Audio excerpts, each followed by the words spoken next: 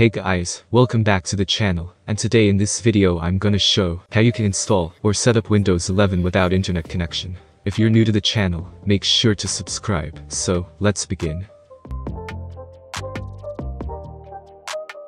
As soon as you reach here, you'll need to connect to any working internet connection to proceed. And in case you don't want to connect to the internet or you don't have access, here's a fix for you. Press Shift plus F10 on your keyboard to invoke Windows Terminal.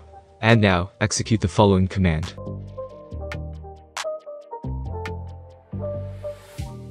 After executing the command, your device will restart.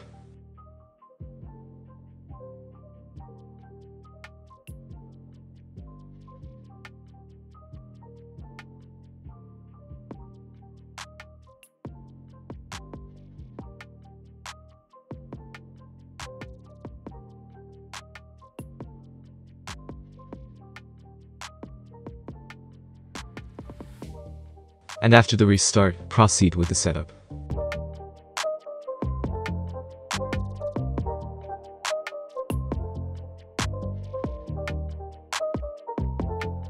And now, you can see, here's an option. I don't have an internet connection. Click on it and continue setting up your Windows 11 without an internet connection.